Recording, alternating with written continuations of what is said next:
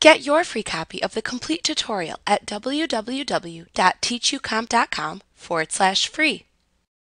With the Replace Color command, you can replace a color in your image with another color.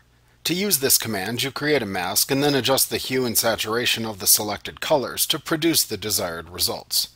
First, select Enhance, Adjust Color, Replace Color from the menu bar. In the Replace Color dialog box, choose either the Selection or Image option buttons in the Selection section to view either one within the display window. Check the Localized Color Clusters checkbox to make contiguous or pixels that are touching selections if desired. Ensure that the Color Picker Tool button is selected in the Selection section, and then click the first color in your image you want to replace. It will appear within the Color window.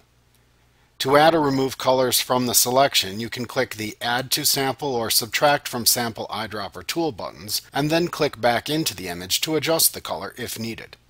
The Fuzziness slider lets you choose colors similar to the one you selected to fine-tune your selection.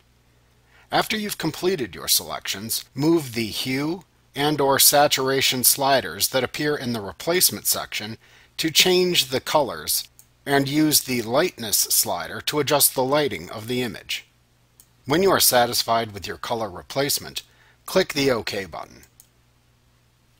Like what you see? Pick up your free copy of the complete tutorial at www.teachucomp.com forward slash free.